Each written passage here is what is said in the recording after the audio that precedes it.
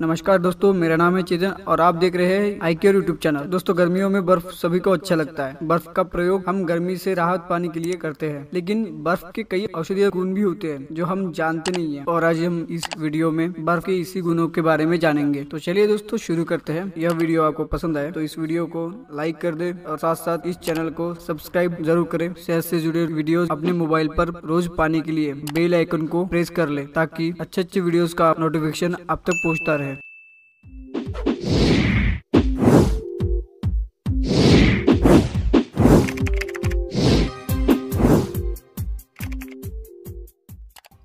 दोस्तों, अभी हम देखेंगे बर्फ़ के औषधीय गुण। देखेंगे कि बर्फ़ को कहा कहा हम यूज़ कर सकते हैं। स्टार्ट करते हैं नंबर एक, जल जाने पर। दोस्तों, जल जाने के तुरंत बाद बर्फ़ का टुकड़ा लेकर जले स्थान पर मलने से जलन शांत होती है और छाले नहीं पड़ते। नंबर दो नक्सीर होने पर। नाक से खून निकलने पर बर्फ़ को किसी कपड़े में लेकर नाक के ऊपर चारों ओर रखे। थोड़ी देर में खून निकलना बंद हो जाएगा। देखते हैं तीसरा नुस्खा। चोट लगने के कारण खून बह रहा हो और किसी भी प्रकार से खून रुक नहीं रहा हो तो ऐसे में उस स्थान पर बर्फ़ की पट्टी बाँध दे। इससे खून बहना बंद हो जाएगा। पांचवा नुस्खा हो जाने पर उस जगह पर तुरंत बर्फ़ लगाने से सूजन कम हो जाती है। छठवा नुस्खा गले में खराश। दोस्तों, गले में खराश होने पर बर्फ़ का टुकड़ा लेकर गले के बाहर धीरे धीरे मलने से खराश में राहत मिलती है। दोस्तों, देखते हैं आखिरी और सातवा नुस्खा वात रोग। दोस्तों, हम बर्फ़ को वात रोग में भी यूज़ कर सकते हैं। तो देखिए कैसे, वात या गठिया के दर्द को दूर करने के लिए दर्द वाले हिस्से पर बर्फ़ का टुकड़ा दो मिनट तक रखें, फिर हटा दें। दो मिनट बाद पुनः उस स्थान पर बर्फ़ का टुकड़ा रखें। यह प्रक्रिया आठ से दस बार करें। इससे दर्द में राहत मिलती है। तो दोस्तों, आज हमने जाना